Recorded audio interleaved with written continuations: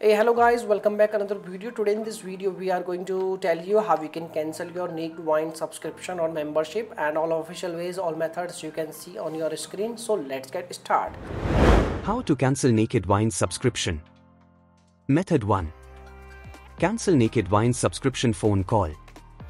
Call on their customer service number 01603281800 and this will connect you to one of their representatives Tell the representative that you plan to terminate the Naked Wine subscription and don't require it anymore.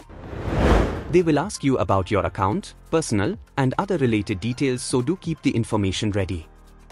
Follow the steps as they say and they will help you cancel your Naked Wine subscription easily. However, you must also remember to ask them for a service cancellation confirmation email. And you are done. Dear friends, by using this method, you can easily cancel your Naked Wine subscription and hope you like this video. If yes, please hit the like button and thanks for watching this video. Bye-bye.